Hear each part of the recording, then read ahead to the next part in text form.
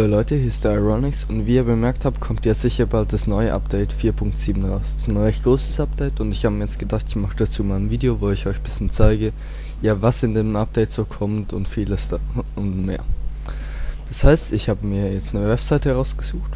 Das ist die hier und hier werde ich die mit euch zusammen anschauen, was so kommt. Die Webseite wird auch in der Videobeschreibung verlinkt sein.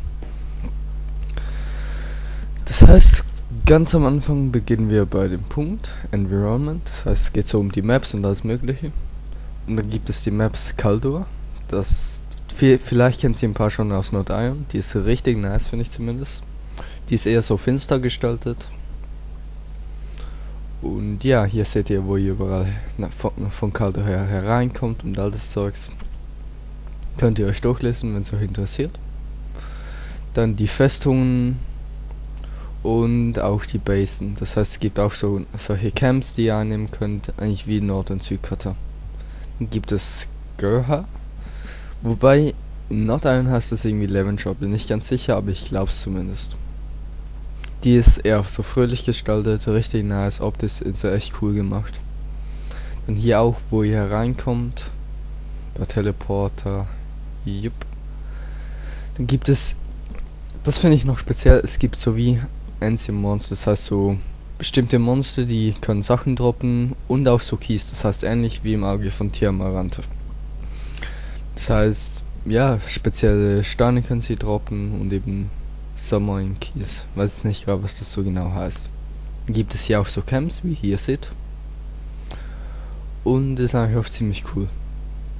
Dann, was in den Welten sonst noch für Changes gemacht wurden, das sind einfach Fehler in der Landschaft behoben von Sapan, Untergrund von Katalam, der Jomongansbrücke und in Heiron. Das, eigentlich, das wär's eigentlich schon zu den Maps gewesen. Also ich will auch jetzt nicht spoilern, indem ich jetzt ein Nordiron Video zeige, aber richtig nice gemacht die Maps. Kann ich euch schon mal sagen, könnt euch drauf freuen. Denn jetzt geht's um PvP Sachen. Hier habt ihr mal Maps, sehen auch ziemlich nice aus. Dann gibt es so ein bestimmtes Battlefield, da kann ein Stadthalter rein, 49 Personen von den Top 100 und 50 auf ihr One Stars. Oder higher natürlich. Gibt's hier noch das andere.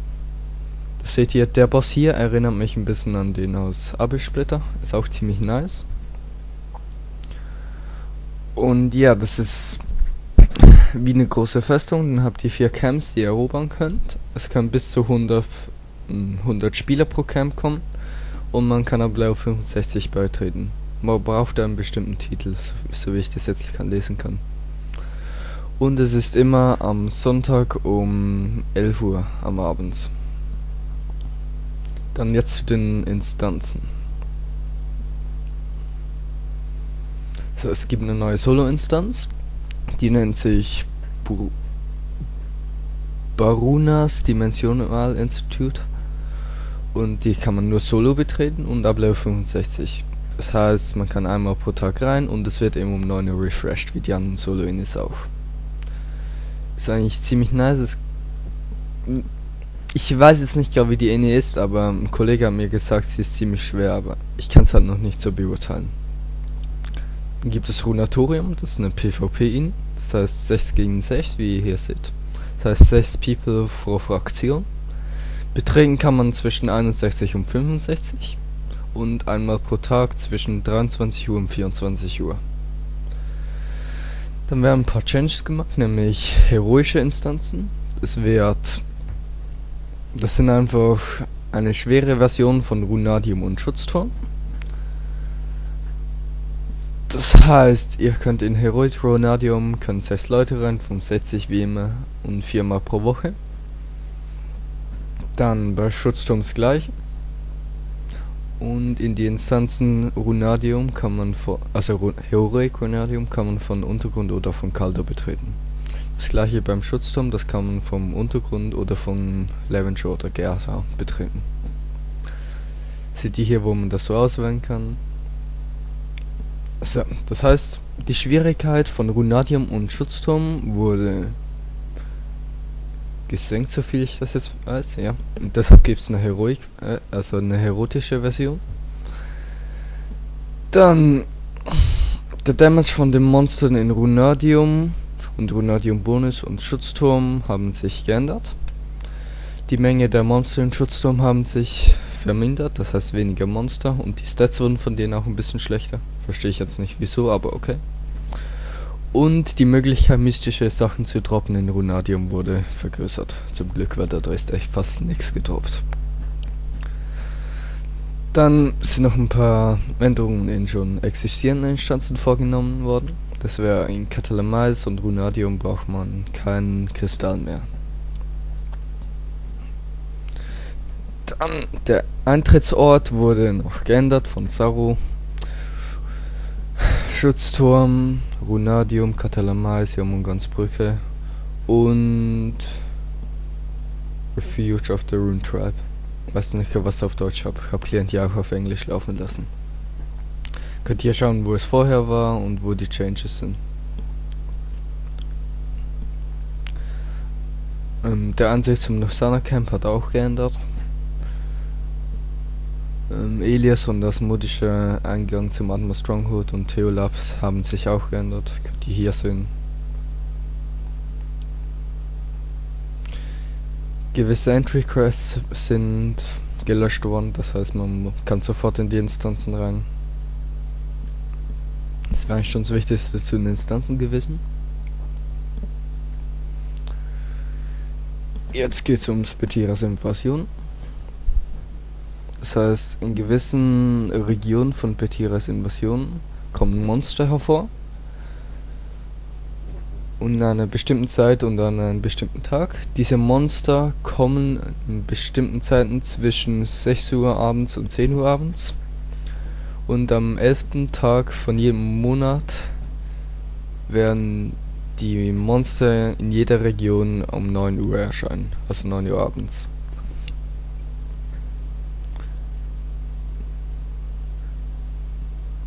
Ähm, du kannst etwas looten von einem Invasionsmonster, egal ob es schon jemand am Looten ist. Das heißt, du kannst es looten, wenn jemand es schon am Looten ist. Ist ein bisschen komisch, aber ja.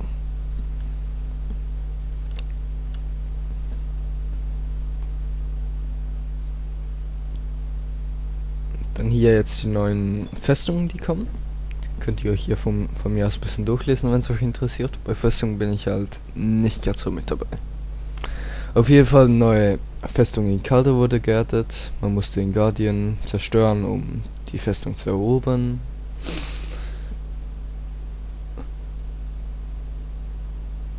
Und ja, lest euch einfach durch, wenn es euch interessiert. Sorry, dass ich nur auf Englisch habe.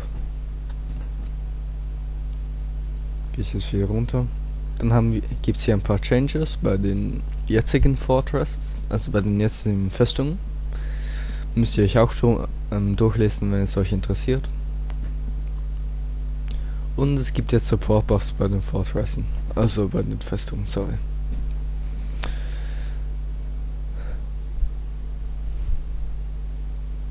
Dann die Rewards.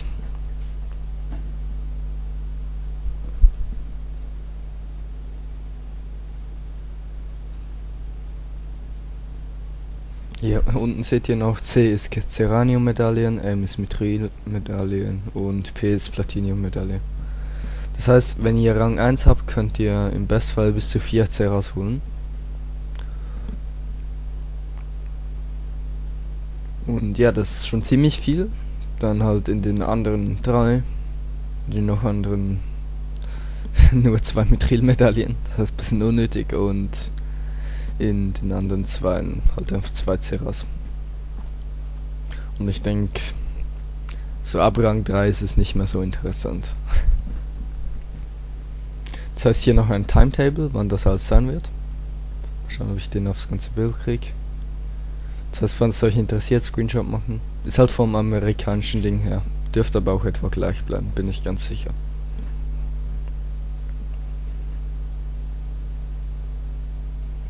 dann die Dauer von gewissen Fortress haben, hat sich geändert. Das heißt, vorher hat zum Beispiel Nord und Südkarte haben die Festung 60 Minuten gehabt, jetzt habt ihr nur 40 Minuten Zeit. In Ingeson und Gelk das gleiche und in Reschande wurde sie von 45 Minuten auf 50 runtergesetzt.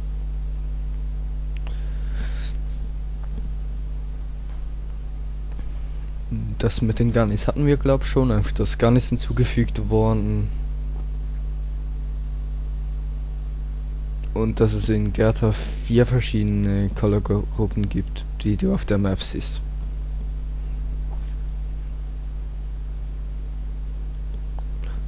So, jetzt geht's zu den Items.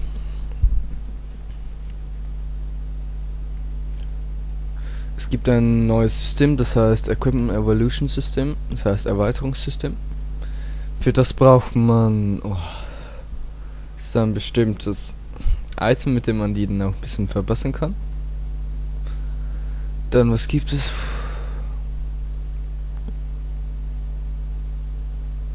Ja, soviel ich weiß, kann man noch Mana-Steine, die fallen nicht mehr raus, aber auch die Chance, dass sie droppen, also dass sie wirklich reinkommen, ist auch wurde verringert.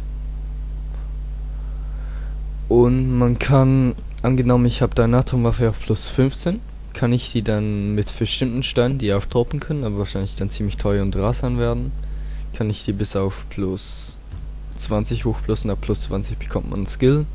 Das ist entweder Rüstung des Gleichgewichts oder Ansturm. Halt einfach in ein bisschen Noob-Variante, aber trotzdem. Und oder halt ein Damage Skill. Das gleiche kann man bei der Rüstung machen, das ist halt einfach ein, Sch eine Art Schutz-Skill. Ihr seht, diese Enchants, also erweiterte Sachen kann man genau beim Dynatum Set, beim Grendel Set und beim Hyperion Set machen. Und halt bei gewissen AB Sachen. Wie ihr hier seht, hat es dann hier so ein also ein Zeichen und mit dem könnt ihr es dann anklicken. Ähm, dieses für das Enchantment könnt ihr hier kaufen für die Elias und hier bei der Asmus. Dann gibt es neue Godstones, die halt auch zerbrechen können. Das heißt, nach einer gewissen Zeit, umso mehr Schaden ihr macht, umso mehr ihr die angreift, können die Goldsteine kaputt gehen. Halt nicht jeder, sondern nur bestimmte. Und man braucht keinen Gottsteinhändler mehr, um die reinzutun hat einfach auf einer die Noob-Variante der richtigen Gottsteine kann kaputt gehen. Dann es wurden neue Abisitem-Items hinzugefügt. Gewisse werden in der Hall of Fame verkauft und gewisse kannst du beim Equipment oder Evolution Händler kaufen.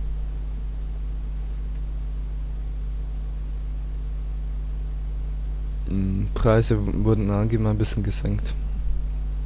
Ähm, Upgrade, also erweitert Upgrade-Level wurden gesenkt. Das heißt, ich weiß nicht, wie es auf Deutsch heißt, aber Augment Prices. Also Aufladungspreise sind es, glaube ich, sogar. Der NPC, der Stadthalter-Items in Nordkatalan verkauft hat, wurde removed. Dann die NPC, die zwei Two-Star-Officer-Sachen verkaufen, haben sich in einem anderen und sich in den Ort teleportiert, wo der Stadthalterhändler war. Und der Stadthalterhändler ist jetzt in der Hall of Fame.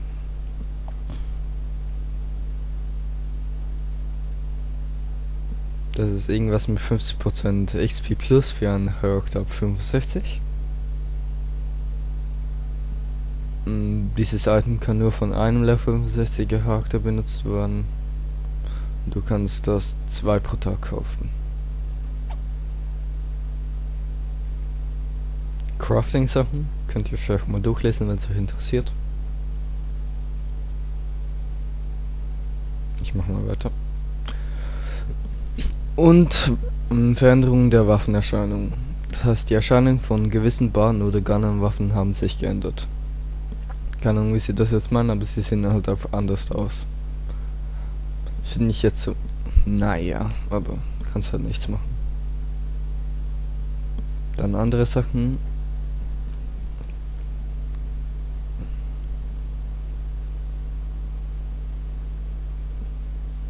Gewisse Items wurden hinzugefügt. Man kann zum Beispiel jetzt gewisse Items sind jetzt legionshandelbar. Das heißt, es gibt ja in der Gruppe handelbar, ähm, allgemein handelbar, nur verkäuflich. Und jetzt gibt es halt auch nur noch, also noch dazu legionshandelbar. Es gibt neue neue Mana-Steine, die ziemlich abgehen. Ähm, die Möglichkeit, um das um Dynatum-Items haben, wurde vergrößert.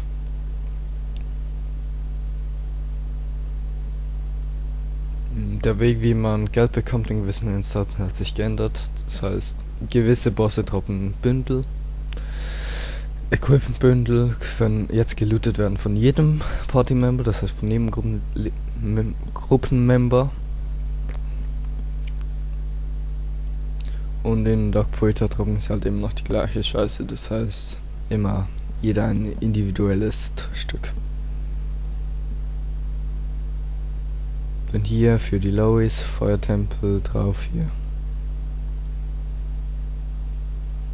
Hm. Belohnungen für ein paar Quests ab Level 50 oder höher wurden vergrößert.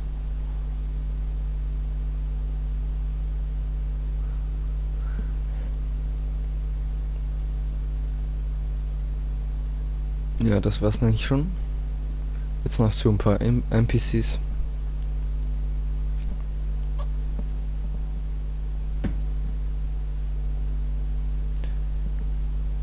Könnt ihr hier nicht durchlesen, das sind einfach Teleporter, ist halt auf Koreanisch ein bisschen dumm.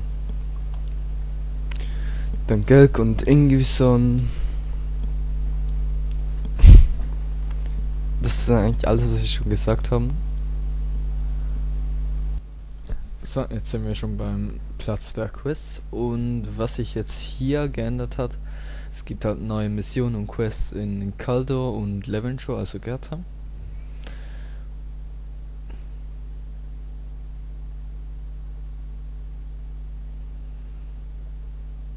Irgendetwas auf Koreanisch sind wahrscheinlich die Quests, weiß ich jetzt halt nicht, sorry. Dann in diesem Dimensionalinstitut gibt es halt auch Quests, wie halt in den Instanzen. Da gibt es Hero Quests. Scheiße, wenn das alles auf Koreanisch ist, sorry. Dann also Glory Points werden hinzugefügt zu der Reward-Liste von den folgenden Quests. Das heißt, wenn man die Quests macht, bekommt man gleich noch Glory Points. Dann gewisse Quests haben sich geändert.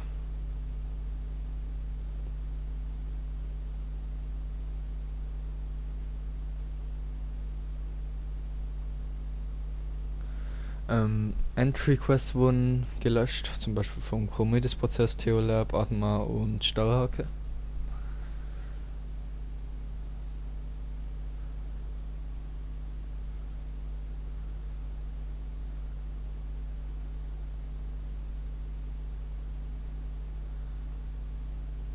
Ähm, man kann Quest jetzt sofort kompletten, also fertig machen. Das sieht man anhand von diesem von diesem glitzernden Sternchen. Jetzt, das, jetzt kommt schon der nächste Punkt.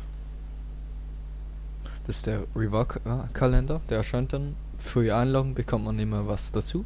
Am ersten des Monats wird man mit irgendetwas belohnt. Dann bekommt man hier zum Beispiel irgendeine Kiste, AP. Finde ich halt noch cool. Es wird so ein neues Item hier sein, also nicht Item, Icon hier sein. Da könnt ihr draufklicken und dann öffnet sich diese Fenster und könnt ihr die Rewards abholen. Ähm, man bekommt dann Daily Reward, der ist meistens kleiner. Dann halt einen speziellen, Lo einen speziellen Reward für eine bestimmte Zeit, an die man sich mehr anlockt. Und am ersten des Monats bekommt man einen Geburtstag Reward. Den Reward bekommt man in einer Geschenkebox. Du bekommst dann Rewards an nur einem Charakter. Du kannst bis zu 50 hm, Geschenkboxen haben, aber mit der Zeit werden sie anfangen zu verschwinden. Das heißt, am besten gleich öffnen. Und die Informationen werden immer um 9 Uhr am Morgen geupdatet. Dann für den Handelsagent gibt es den Low und High Price, der gleich angegeben wird. Finde ich noch cool. Gibt es Passagen, wo ihr euch durchporten könnt. Dann grünes Elios, blaues Asmodisch, weißes Elios und Asmodisch. Dann Favorite in Instanzen kann man machen. Dann sieht man die auf, na, nur auf einen Blick und die anderen unnötigen Instanzen, die man nicht so leicht sind, halt auch ausgeblendet. Ähm, es gibt mehr Details beim Battlefield Score.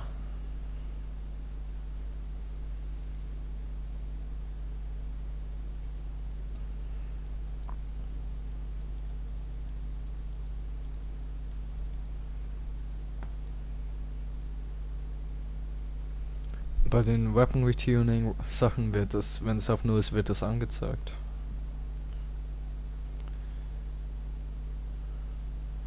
Und man kann jetzt alle Quests unter 50 halten oder hat dementsprechend auch anzeigen. Dann, falls man was braucht, wird das hier mit so einem leuchtenden Dings, Dings gemacht.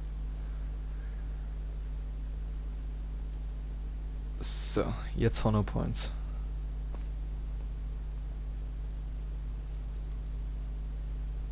Ähm, die Gelke und Festungen wurden auf Level 65 geupgradet und man bekommt jetzt auch von da Honor Points. Das heißt, die sehen jetzt so aus. Da gibt es so bestimmte Agents, die sind in Levenshore, der zum Beispiel. Und das sind die fetten vier, die kann man killen und man bekommt dann halt eben Honor Points und andere Sachen.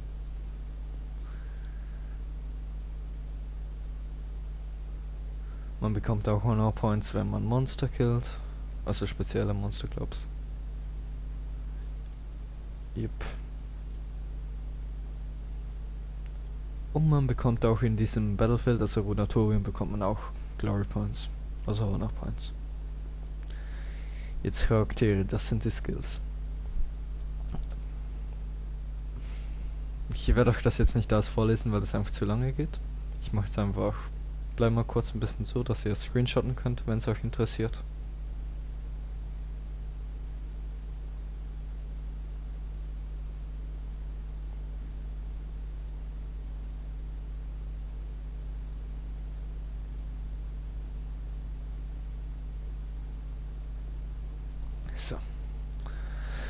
Dann andere Änderungen waren der Weg, wie magische Resistenz berechnet wird, hat ein bisschen geändert. Dann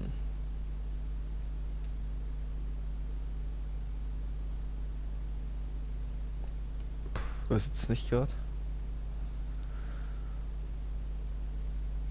Und das ist eigentlich das mit dem Leveln. Ähm, Charaktere bis Level 50 haben eine Vari haben eine Variation von neuen Quests. Das heißt, man wird immer wie schneller mit dem Leveln, wie halt immer.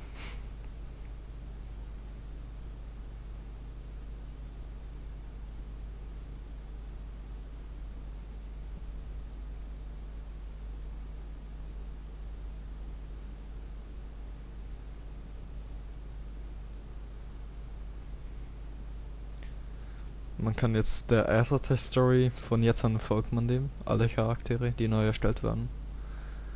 Also die alten Quests könnt ihr dann trotzdem noch machen. Dann gibt es solche Key Quests. Die tun auch den Leveling-Prozess um einiges beschleunigen.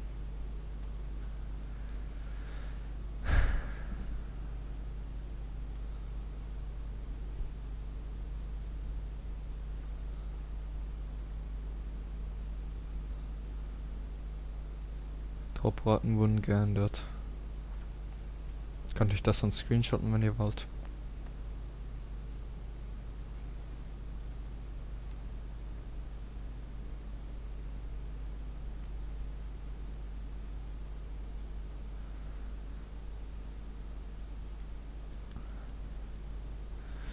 Yep, ich denke, das war es auch schon gewesen. Ich, ich hoffe, ich konnte euch das Update 4.7 ein bisschen näher bringen. Und wie gesagt, ich denke, es kommt immer mehr an Teilen heraus. Und ja, ich, ich freue mich auf jeden Fall auf das Update. Die Maps gefallen mir gut. Ich hoffe, sie wird auch ein bisschen mehr mit PvP wieder zu tun haben. Und ich bin auf jeden Fall zuversichtlich und es wird sicher cool. Bis dann, ciao.